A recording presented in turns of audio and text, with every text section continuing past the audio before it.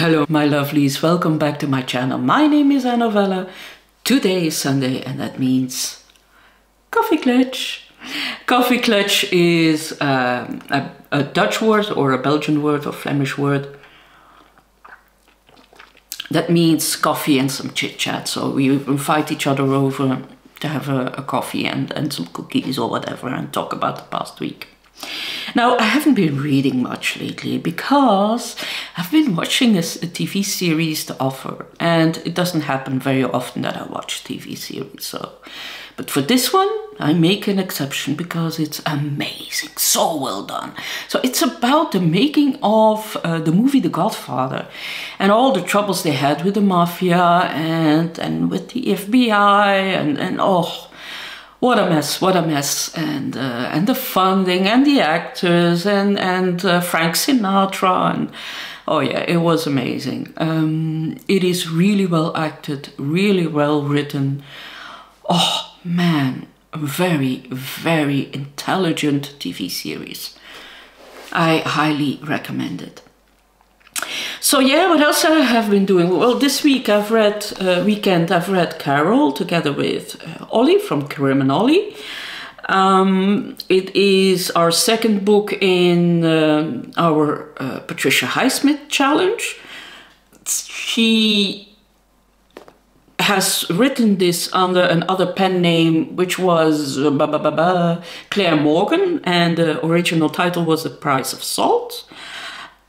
This is the story about Carol, a very well off lady who is in the middle of a divorce. She has a, a child, a daughter, and she meets Therese, who is a, at that time a saleswoman at some uh, very fancy store like uh, Macy's or whatever.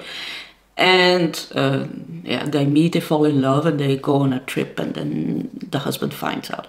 Now, this is a book. If when you read it, some people don't realize how much is at stake for those women, especially for Carol, who could have easily, easily, by her husband, been taken to an institution, have a lobotomy, and stay there forever and be forgotten. Easily. That's how dangerous it was. Or taken to prison or whatever. Uh, this is. Uh, you have to read it as a sort of thriller. It is a sort of thriller. If you know what is at stake, then uh, your opinion uh, about this book can be altered. Uh, for me, it's a five-star read. I had it um, consumed. I read it and I listened to it partly, and it was a really welcome, uh, yeah, a welcome read this uh, weekend. It's snowing outside. Muffin doesn't like that white stuff when she looks at it, she, she says, oh, this is not for me. I'm staying inside. she's such a princess, but she's from Spain. What else do you expect? Then I've been reading uh, A Restless Truth, written by Freya Marske. So this is fantasy. Uh, a fantasy story about a woman who is on a boat traveling to somewhere together with her parrot, Dorian, and uh, she has killed a woman with her magic, and she doesn't want to be found out. So yeah, it um, it's not a book for me. Fantasy, no, I'm I'm not. Yeah, I don't buy it. I'm just uh, not the right person for this. So yeah, I'm sorry. not for me two stars. And then I'm still reading uh, Choderlos de Laclos uh, Dangerous Liaisons. I hope to finish this week. I've stalled it a bit because I like to read in one go and uh, well, we still have a month to go. Uh, we are reading this together with uh, Elizabeth and with Micah, um, uh, Classics and Company and uh, yeah, it's still uh, it's still the 14th of uh, February. So there's still time if you want to join us, you can. And then I'm currently reading this book. These Days by Lucy Caldwell. Two Sisters, Four Nights, One City. I'm about halfway, and it took me some time to get into it, but I, for now, it's it's getting better. So it's about two sisters who are coming together in Dublin, and it's 1941, and there's the raid, a four-day raid on Dublin uh, by uh, German bombers, and uh, it's about how they survive. One is about to get married, the other has a secret affair with a young girl. Uh, who's oh, well, 10 years younger and uh, yeah it's they are coming the bombers are coming so I, I don't know any more of it then I also finished the brilliant, brilliant biography written by uh, Philippe Lançon. It's called Disturbance a very bad translation of uh, the French title.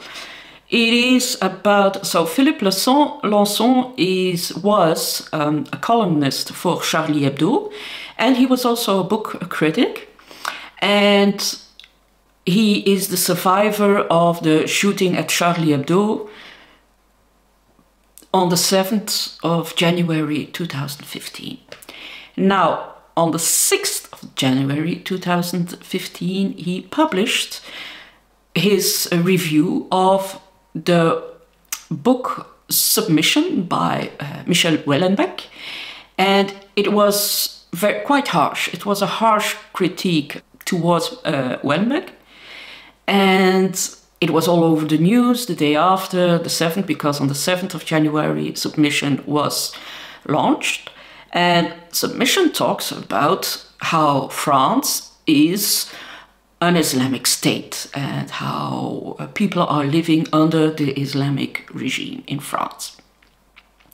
Now, uh, uh, what is so horrible in, in a way, they were talking, they were having a meeting of about submission at Charlie Hebdo when the gunman arrived. He was one of the survivors. His face was partly blown away, and, and also his hands, and uh, yeah, he was severely wounded. And um, the descriptions, descriptions of the attack are uh, really tough to read, but also fascinating. And then the way he dealt with all of this, the way he talked about it, and the respect he has for his doctors and surgeons and nurses and the policemen that uh, protected him 24 7. It was like he felt loved and he felt really taken care of. He never complained. He never feels sorry for himself. He finds his, his strength in literature. So he refers a lot to literature and uh, a lot of texts are being uh, are uh, cited on, on the in the book and uh, yeah, I learned a lot about new authors that I want to read, and uh, it's it's such a beautiful, powerful book.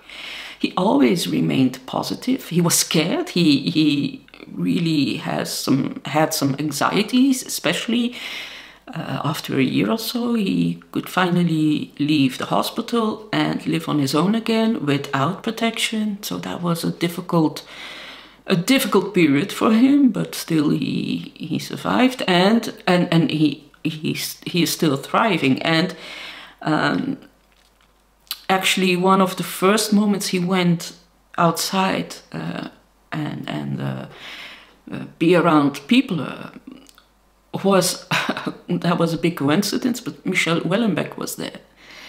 And he came up to him, uh, to Philippe Lançon, and he was so warm towards him and so loving and it was a really positive meeting. And uh, it is a beautiful beautiful book disturbance by philippe lançon. Easy to find. Read it. It is necessary. It is wonderful. Yeah Wonderful book. And then a surprise, something uh, that ended in my letterbox. This one, uh, Lady Joker by Kaoru Takamura.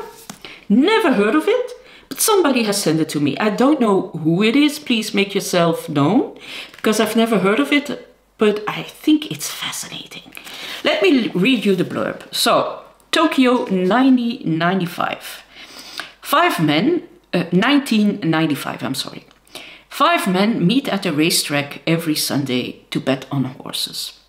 They have little in common except a deep disaffection with their lives. But together they represent the social struggles and griefs of post war uh, post -war Japan.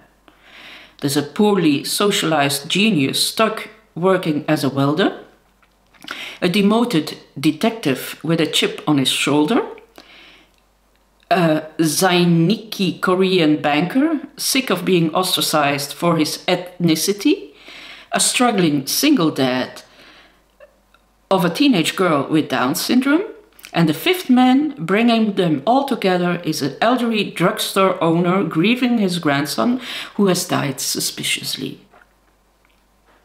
It sounds really interesting, so I'm looking forward to, do, to reading this. I will do this uh, uh, beginning of next week. So yeah, really looking forward. Thank you for the one who has sent me. Please make yourself known. I, I will, uh, so I can thank you personally.